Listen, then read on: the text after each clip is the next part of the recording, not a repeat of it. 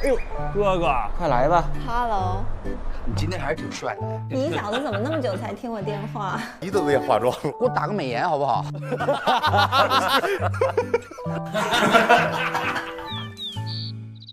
想去哪儿吃什么？按摩加睡觉。养生排毒。跳伞、漂流这些别带我。你要开飞机呀、要倒立着玩。惩罚他第二天跑二十公里。取消一下吧，求你们了！他自己承诺，那他自己承担这个法律责任吧，我觉得。没有盐，卡式炉没有煤气罐，咱还没要被子，你们做个人吧。你这个伞要飞走了！哎哎，我们要飞到黄浦江去了，太难玩了。我就是很想要玩。出发了。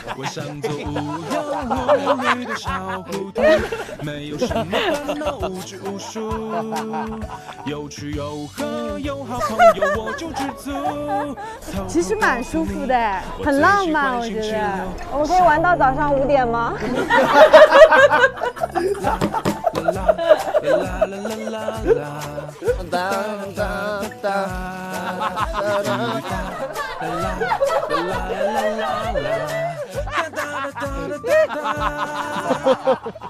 我想做无忧无虑的小糊涂，没有什么烦恼无拘无束。这样子，哎，对哎，有经济经济。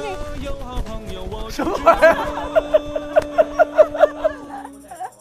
偷偷告诉你，想起了好朋友就是你真心的想跟他在一起玩。同频的人互相吸引，经得起所有任何事物的洗礼。嗯，我认为最舒服的友情其实是不计回报的一个付出。只要你需要我，只要你想我在，我一定会出现。同频的人互相吸引，然后不能刻意为之，这是我对友情的定义。真的很爱对方，然后希望对方可以因为自己变得更好，呃，什么话都能聊，任何的秘密都可以分享。我对友情的定义是自己选的家人，很多东西可以没有，但是友情不行。通常和朋友在一起就会做一些比较放松的行程，比如说按摩，真的去澡堂，在彼此家里面可能做做饭，然后点点外卖，吃火锅啊。